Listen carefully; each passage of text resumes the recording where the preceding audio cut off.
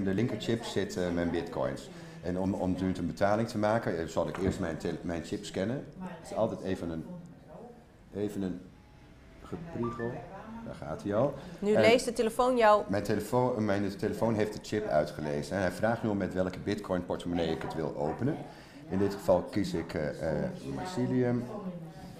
Mycelium. Hij vraagt om het wachtwoord. Dit is de beveiliging. Dit zal een tijdje duren voordat het ontsleuteld is. Maar ik heb voor het gemak heb ik even een eenvoudig wachtwoord. En OS geke- eh, gekozen.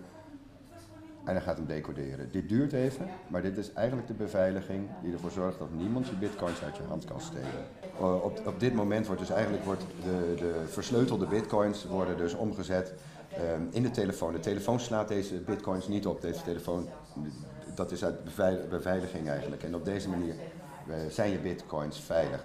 En je ziet nu bitcoins uit de koude opslag opgeven.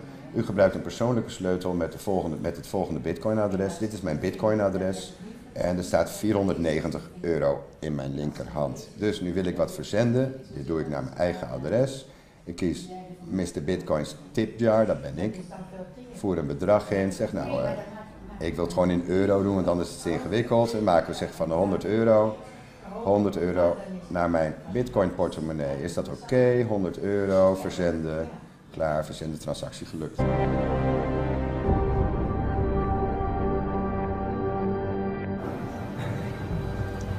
So he's going to use a, uh, a large gauge needle that will install this uh, subcutaneously. Ready for the insertion? Ready for the insertion.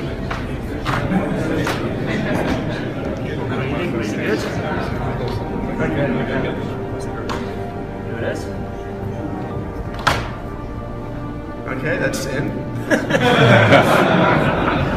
And the chip is in as well. That's it. Done.